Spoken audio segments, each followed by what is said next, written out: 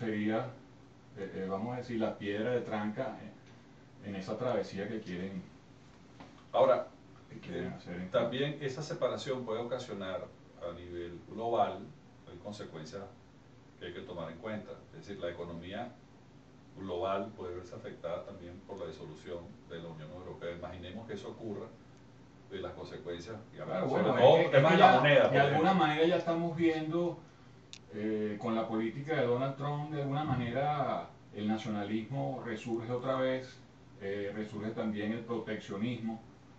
O sea, el, programa de gobierno de Marine Le Pen es muy parecido a lo que propone Trump. Pues. Aranceles, este, políticas migratorias más, más estrictas. Más